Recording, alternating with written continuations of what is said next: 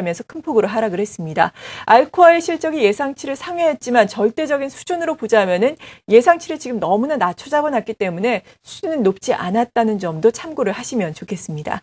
자, 그러면은 어닝 시즌을 비롯한 여러 가지 불확실성 우리가 어떻게 대처를 해야 하는지 알아보겠습니다. 우리 투자증권 명동 WMC의 고광식 부장 나오셨습니다. 안녕하세요. 예, 안녕하십니까. 네.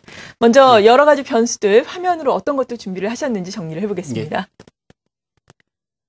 키워드 공감 첫 번째는 불확실성입니다. 경기 그리고 3분기 실적 등 최근에 불확실성 변수가 부각되면서 시장이 계속해서 정체되는 양상이에요. 오늘은 또 비교적 큰 폭으로 하락하고 있고요. 예, 그렇습니다. 그 최근의 주가 흐름은 좀 경기, 글로벌 경기 둔화에 따른 아, 투자 심리가 위축되는 것으로 이렇게 좀 보여지고 있고요. 네. 아, 무엇보다도 그 미국의 그 경제 지표들이 비교적 좀 양호하게 지금 발표가 되고 있음에도 불구하고 아, 일부 그 기업들의 실적 부진, 아, 그 다음에 그 유로존의 그 리스크가 지금 아, 부각되면서 좀 아, 조정을 받는 그런 양상이라고 말씀을 드릴 수 있을 것 같습니다. 특히 아, 최근 그 전체적인 흐름을 본다면 외국인들의 그 매수 강도도 지금 약화되는 아, 모습도 나타나고 있고 여기에 이제 아, 11일 날 되겠습니다만은 금통이라든가 옵션 만기일에 따른 일정 부분 좀 매물 압박을 지금 받고 있는 것으로 보여집니다. 아, 물론 미국의 뭐 실업률이 뭐 7.8%를 기록하는 등 아, 44개월 만에 아, 일정 부분 좀 안정세를 좀 나타나는 부분은 긍정적으로 좀 보여주고 있고, 네. 아, 그동안에 그 지표에 아, 시장이 좀 반응을 했다면, 아, 3분기 실적으로 좀 옮겨갈 가능성도 좀 있는 것으로 보여집니다. 아, 여기에 그 스페인이라든가 이태리의 그 10년물 국고채 금리가 한 5% 초반대 이렇게 유지를 하고 있는데요. 아, 이 같은 수준은 지난 1, 2차 때의 그 아, 경기 부양과 같은 수준입니다. 아, 금리가 추가적으로 좀 개선세를 보이고 있다는 점도 투자 심리를 좀 위축시키는 그런 부분이 좀 있는 것 같고요. 아, 특히 그 18일에서 19일 그 EU 정상회담이라든가 아, 21일에는 특히 그 스페인 지방 선거가 또 어, 예정이 돼 있습니다.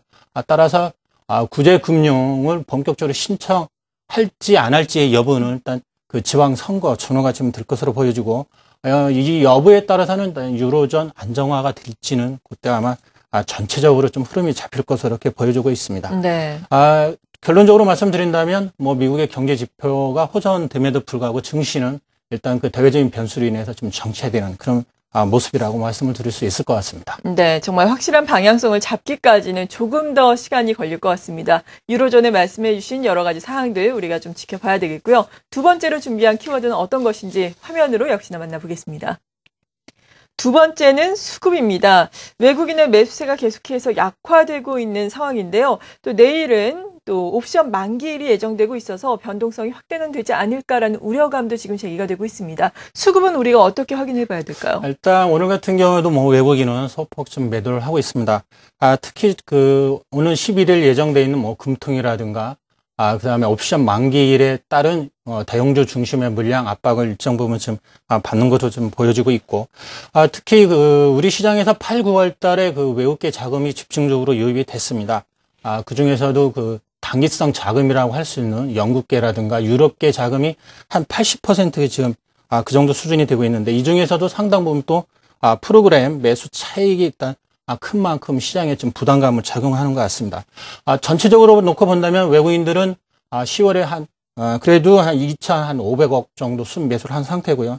연간으로도 15조 아, 천억 이상 지금 순 매수를 한 상태입니다. 네. 따라서 아, 외국인들도 그 스페인 쪽에서의 일정 부분 안정화 시그널이 나온다면 국내 주식으로 재유입도 충분히 있는 것으로 보여지고 있습니다. 아, 최근 그 2,000포인트 이상에서도 외국인들이 주식을 팔지 않았다는 그런 측면을 좀 감안해 본다면 너무 이렇게 음, 뭐 투자 심리가 극도로 위축될 필요까지는 없는 것이 아닌가 이렇게 아, 또 생각을 해볼 수 있을 것 같습니다. 음, 네, 잘 알겠습니다. 세 번째 키워드도 이어서 알아봅니다. 3분기의 실적 시즌입니다. 앞서서 말씀드린 것처럼 미국에서도 알코아가 장 마감 이후에 실적을 발표를 하면서 실적 시즌이 본격적으로 시작을 했습니다. 알코아의 실적에서 보셨듯이 물론 절대적인 실적들은 높지는 않습니다. 상당히 낮은 수준인데 예상치가 상당히 낮아져 있기 때문에 예상보다는 또 괜찮을 수 있다라는 의견도 있고요. 하지만 여전히 또 우려감을 비치는 의견도 있고요. 어떻게 판단을 해야 될까요? 아, 일단 좀 그림을 보면서 잠깐 좀 설명을 드리도록 하겠습니다. 네. 우리 그 국내 주요 기업들의 3분기 실적은 뭐 삼성전자가 뭐 예상 잠정 예상치가 나왔습니다만은 영업이익이 한 8조 1천억 정도 이렇게 예상이 되고 있고요. 아, 이 같은 어, 분위기는 뭐 4분기에도 일정 부분 좀 아, 이어질 것으로 보여집니다. 그 외에 그 대표적인 종목을 제외한 나머지 그 아, 종목들은 오히려 좀 하락하는 그런 양상이 좀 나타나고 있습니다. 따라서 전체적인 흐름을 놓고 본다면 물론 2분기의 어닝 쇼크 수준은 아니지만 3분기 일정 부분 좀 개선되는 추세, 아, 4분기에도 좀 더 개선되는 그런 흐름을 좀볼 것으로 예상을 해볼 수 있을 것 같고요. 아, 미국 시장은 오늘 뭐 악화가 나왔습니다만은 아, 적자가 뭐 전환이 됐습니다만은 예. 시장 뭐 예상치부터 좀 아, 상회하는 그런 흐름을 보이면서 시간 외에서는 뭐 플러스도 나오는 그런 양상을 좀 보였습니다만은 전체적인 그 흐름을 놓고 본다면 역시 미국의 주요 기업들의 3분기 실적은 아, 저조할 것으로 이렇게 좀 보여주고 있습니다. 다만 우리나라 그 MSCI 12개월 예상 그 EPS를 좀 놓고 본다면 일단 최악의 국면을 좀 일정 부분 지나가는 것 같고요. 아, 3분기 일단 영업이익 전망치가 계속해서 좀 하향 조정된 부- 부분은 아, 사실이지만 이 부분도 일정 그 4분기부터는 아, 좀 개선되는 그런 좀 여지도 좀 충분히 있는 것 같습니다.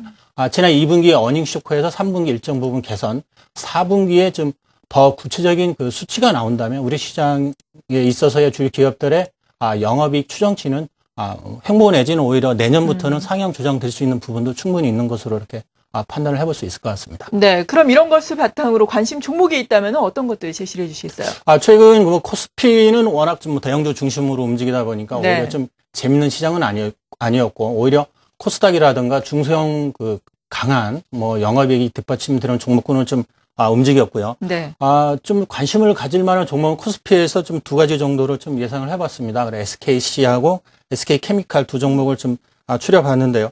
아, 물론 이제 3분기하고 4분기 실질적으로 이제 영업이익이 계속해서 좀 우상향하는 그런 좀 흐름을 보여주고 있습니다. 특히 아, SK 케미칼 같은 경우에는 뭐 기관 중심의 그 14, 뭐 거래일 연속 순매수가 좀 유입되고 있는 부분이라든가 SKC 같은 경우에는 뭐 기금 공제를 비롯한 기관 쪽에서의 아, 매수세 유입 등으로 인해서 좀 완만한 그런 흐름을 좀 보일 것으로 예상을 해볼 수 있을 것 같습니다. 오늘 전체적인 흐름은 워낙 코스피가 좀 약한 음, 그런 모습을 보여주고 있기 때문에 네. 아, 일정 부분 조정을 받을 수는 있겠지만은 오히려 그때가 오히려 매- 저점 매수의 기회로 좀 삼으셔도 좋을 듯 싶습니다. 네.